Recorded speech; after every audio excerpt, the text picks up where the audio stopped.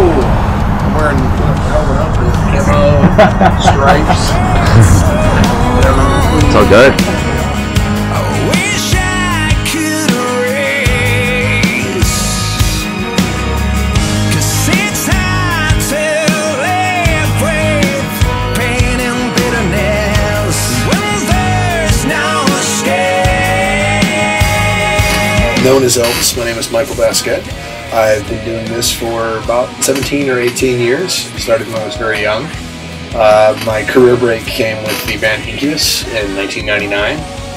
Scott Phillips of Alter Bridge met the band uh, while he was in South America, and he sent me an email and a text message telling me about the guys and telling me how great they were and how cool they were, and he had heard some of the material and thought it was awesome.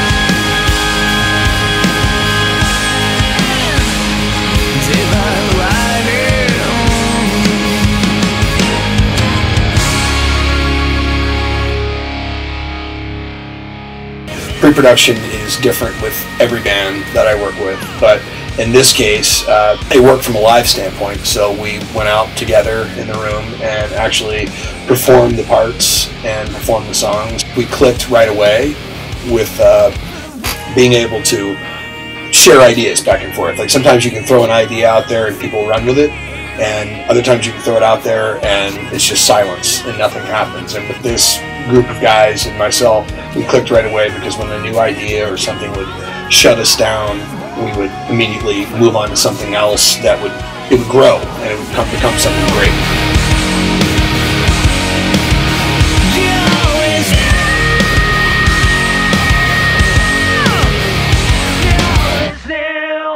Hey, what's up? Scott Phillips from uh, the band Alter Bridge. I am uh, hanging out with my boys from uh, Agents. I heard that they were going to be in town and thought I'd come down and play some drums. So here I am.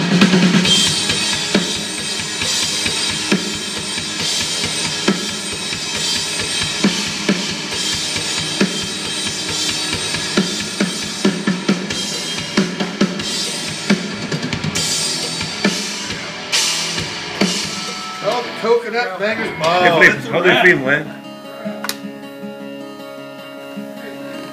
How do you feel, man? She was good. Good. Tired, but good. Yeah. Never played.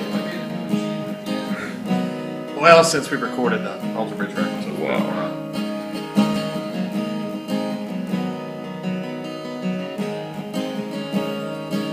What you can expect is a lot of lot of heavy hitting rock songs with great grooves. I mean, at times it's got the it's got the swagger of, of vintage Soundgarden. It's got the hard rock energy of today's biggest modern rock hits, but with a completely unique vocal style and awesome guitar work and drums and bass. It uh, I think it runs the gamut. I mean, we've got the dynamics of gorgeous ballad and you know incredible emotion to in your face hard rock you know full speed ahead I.